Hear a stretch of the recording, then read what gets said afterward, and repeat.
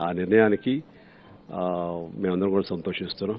అట్లాగే ఈ రోజున భారతదేశ పరంగా మన తెలుగు సినిమాల గురించి చాలా గొప్పగా చెప్పుకుంటున్నారు అండ్ కీర్తిస్తున్నారు. దానికి ప్రధానమైన కారణం హై బడ్జెట్ సినిమాలు కూడా ఈ రోజున మన తెలుగు వాళ్ళు తీసే స్థాయికి రావటం. ఆ సినిమాలకి భారతదేశ పరంగానే కాకుండా పాన్ ఇంటర్నేషనల్ ప్రపంచపరంగా కూడా ఎంతో కీర్తి వస్తుంది తెలుగు సినిమాలకి.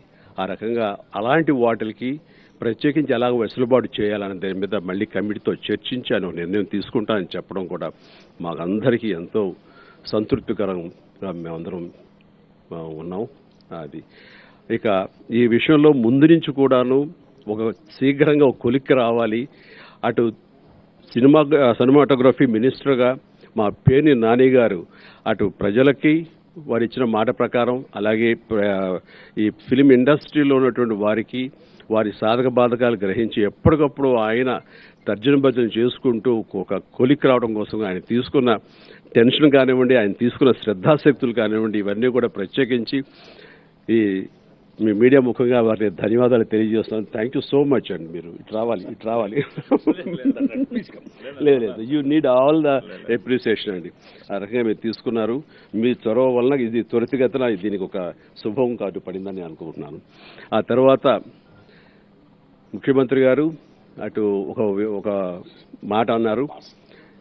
అటు తెలంగాణలో ఎలా అయితే చిత్ర పరిశ్రమ అభివృద్ధి చెందిందో అదే విధంగా అదే దారిలో ఇక్కడ ఆంధ్రప్రదేశ్లో కూడా ఈ సినిమా అభివృద్ధి చెందాలి అని వారు చెప్పడం దానికి కావలసినటువంటి అన్ని అవకాశాలు నేను కలగజేస్తానని ఆయన అనడం అనేది ఎంతోమంది ఔత్సాహికులకు ఆంధ్రప్రదేశ్ నుంచి మరెంతో మంది సినిమా నిర్మాణం చేయాలి అనే వాళ్ళకి అది ఎంతో వెసులుబాటు ఎంతో ప్రోత్సాహకరంగా ఉంది. అలాంటిది అందమైనటువంటి సిటీ వైజాగ్ని నేను ఆ విధంగా రూపొందించాలనుకుంటున్నాను. ఆ రకంగా షూటింగ్స్కి అన్ని రకాల పరిస్థితులు అక్కడ కొనసాగించాలని అనుకుంటున్నాను. అన్నప్పుడు ఖచ్చితంగా ఉభయ రాష్ట్రాల్లోనూ తెలుగు పరిశ్రమ అభివృద్ధి చెందితే అంతకంటే తెలుగు వాళ్ళగా మనకు కావాల్సింది ఏముంది? అలాగా రెండు రాష్ట్రాల్లోనూ సమంగా ఈ ఇండస్ట్రీ ఎదగాలని అభివృద్ధి చెందాలని కోరుకుంటూ దానికి సంబంధించి మా వంతు సహకారం ఎప్పుడూ ఉంటుందని వారికి ముందు చెప్పడం జరిగింది. ఇక మీదట ఎప్పుడు ఏ సమస్య వచ్చినా సరే ఆరు వారి పిలుపు కోసంగా మేము ఉంటాము. సామరస్యంగా అన్ని పరిష్కరించుకుంటాము. ఆ రకమైన సహృద్భావ వాతావరణంలో ఈరోజు చర్చ ముగిసింది. దానికి ప్రత్యేకించి వారి ముఖ్యమంత్రి గారికి మినిస్టర్ పేరు నాని గారికి అలాగే ఇతర సభ్యులందరికీ కూడాను అలాగే కమిటీ వారు కూడాను చాలా న్యాయబద్ధంగా వారు ఇచ్చినటువంటి ఫైనల్ డ్రాఫ్ట్కి వారందరికీ చాలా ధన్యవాదాలు తెలియజేస్తున్నాం. హోప్ఫుల్లీ ఈ మంత్ ఎండ్ థర్డ్ వీక్ లోపల జీవో వచ్చే అవకాశాలు ఉన్నాయి. ఎంత త్వరగా వస్తే ఇండస్ట్రీ అంత త్వరగా మరింత ప్రోత్సాహంతో ముందుకెళ్తుంది.